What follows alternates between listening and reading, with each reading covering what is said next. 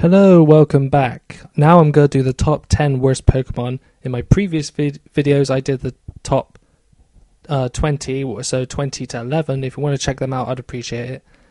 Uh, in the me- well, now we finally get to the good stuff, the ones that are absolutely crap, the ones that you just wouldn't want to pick ever. Um, let's start with number 10, which is Garbodor. There's obvious reason why it's number 10. It's stronger than the others I mentioned beforehand, but I think its design is atrocious. Just a damn, downright, outright atrocious. I mean, it has the worst color set you could imagine. It's dark seaweed green. It's a sickening purple. It has like little hundreds of thousands, like after being digested by a dog. I don't know what that means. Um, it's an ugly shape. It's like fat with long arms and sort of stubby feet, and what appears to be sort of like poodle ponytail things. I just don't like the design. It's an awful design. I bet a lot of you can agree with me on that one. If you don't, then you obviously have problem with your eyesight. You can't see very well. You might, you might you might need contact lenses or something. Because if you think that this looks good, shame on you. Shame on you, really. I know it's not important, but it's just we expected a better design from Nintendo Game Freak. They've been around for years, creating beautiful Pokemon like Pikachu, Rapidash, Seaking, Milotic, uh, Swanna, and that was the same generation too. Swanna was a graceful Pokemon, and then straight after it is like Garbodor.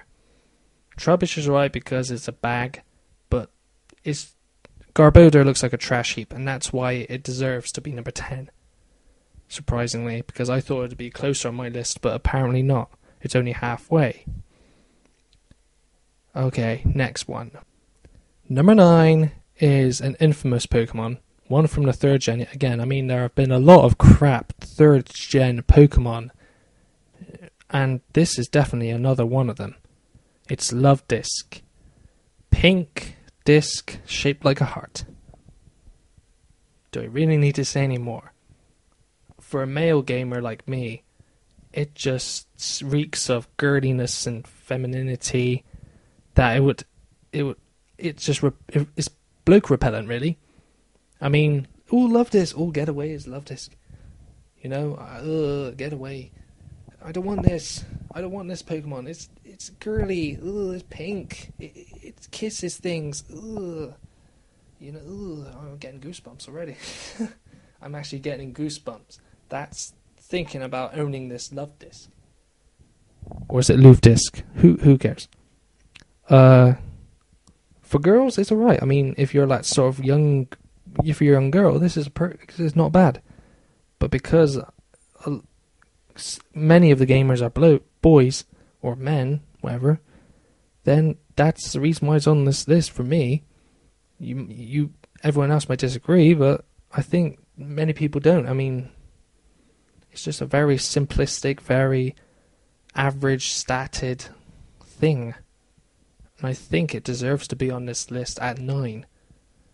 I thought it'd be closer yet again than ninth place, but I guess not. That surprised me. But this didn't surprise me at being at um, a number eight. This next one. Number eight is actually a famous Pokemon. It's charming. It's funny. It's it's it, it was good. It's pop. It was popular in anime. That's for sure. Even though I, have only watched uh, like, only like a couple episodes in my childhood. Uh, but yeah, number eight is Farfetch'd. I mean, like saying it has a weapon. Well, it's it has a leek for a weapon or spring onion. That's the equivalent of going a tub of lard is good for you. Yeah, leek's not a weapon or spring onion, whatever it is. It just looks like one of them. Farfetch'd is on there mainly for its stats. They're appalling. All of them are about average 50, that means it can't yet again dominate in any field. It's a flying type, nothing else. It's brown, which is bleh. And it's a first gen Pokemon, so I could kind of accept the fact that It's a design rather than a usable Pokemon, and its main gimmick was that it was very rare to obtain in the original Pokemon games, Red, Blue, and Green, because the only way you could get one of them was to trade, and there was no Pokemon breeding in that generation, so it was like a trophy that you're never going to use, you know? I mean, an actual trophy, you'll never use it in battle because it's appalling unless, you know, you want to be different from everyone else who uses legendaries only and Ubers only. So that's why I like Farfetch, but its stats are just so bad that it just has to be at number 8. 7, on the other hand, has bad stats and a lot more things worse with it.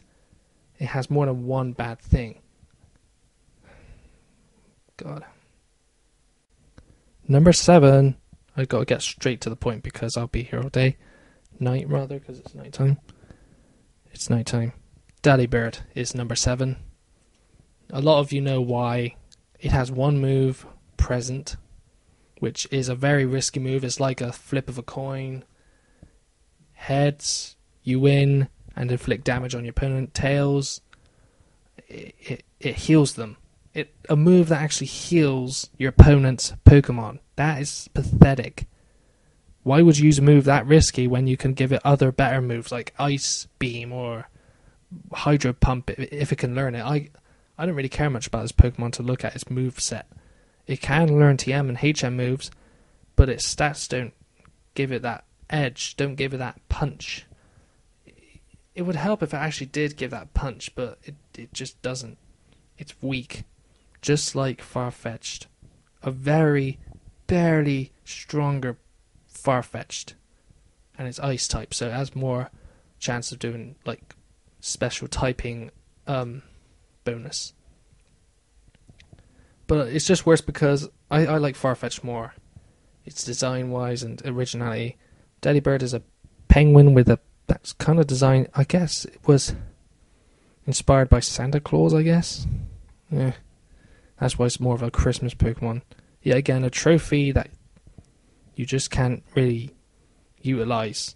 You just look at it and go, "Oh, that's nice," and then you never look at it again because it's so. It's more of like a collectible, really, rather than a Pokemon. I mean, Pokemon you could train from start to finish, like any starter or any of the early bird or normal type Pigma, but with Delibird, nothing. Six. Uh, I don't know whether I'm going to get hate comments for this, but uh, number six is Smeargle. Worse than Delibird, in my opinion. It's a normal type that learns one move, Sketch. It's not like it only learns one move off the bat. Every time you level up to a certain level, Smeargle learns Sketch. Sketch is a good. Actually, I can't say that with straight face. Uh, Sketch is a horrible move it allows you to permanently copy an opponent's last used move. So if your opponent used on against Smeargle, um, I don't know, uh, Hydro Pump, and Smeargle survives, it learns Hydro Pump.